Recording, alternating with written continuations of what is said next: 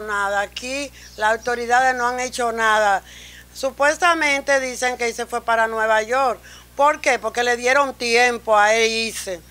Porque ella estaba aquí, en Macorís, y no hicieron nada, porque como cogieron dinero, ellos no hicieron nada. Y, y la muerte de mi hijo se ha quedado impune. Un muchacho serio de este barrio y no se ha hecho nada para eso, ni, ni siquiera la policía se preocupó de buscarlo a ese hombre. Y le dieron tiempo a él irse para afuera, según supuestamente dicen que él se fue. Pero vamos a ver lo que se haga, porque voy a mandar el procurador y voy a ir donde las autoridades que hagan algo, porque esto no puede quedar impune, la muerte de Juan Miguel. ¿Qué piden ustedes? ¿Una orden de Interpol? Exacto, eh, vamos a pedir eso. Voy a ir con una foto del matador donde el procurador a ver qué puede hacer con este caso. Ajá. ¿Cuánto lleva ya el muerto? Un año, el día 20 cumplió un año ya y nada. Ni ¿Cómo si- ocurrió el hecho realmente? Realmente el hecho pasó por unos tenis. Él, porque él me contó todo cinco minutos antes de irse, porque él me contaba todo, a su mamá él le contaba todo. Y él fue, él le dijo que le ayudara a vender unos tenis que él tenía ahí. Y él le dio un pie de un tenis, el tenis él lo vendió.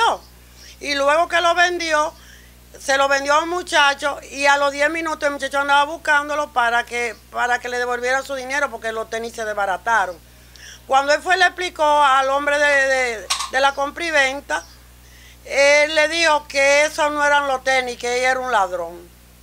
Entonces le dijo, no me digas eso porque yo tengo mucho tiempo tratándome contigo y vendiéndote. ¿Cómo tú vas a decir que yo cambié esos tenis y yo no soy un muchacho de malos negocios? Luego él quedaron así. Después luego él volvió cuando me explicó el caso y él, no sé, hubo una pequeña discusión entre ellos, no sé cómo, cómo pasó realmente, pero él eh, antes de irse me explicó todo lo que había pasado con él de la compra y él.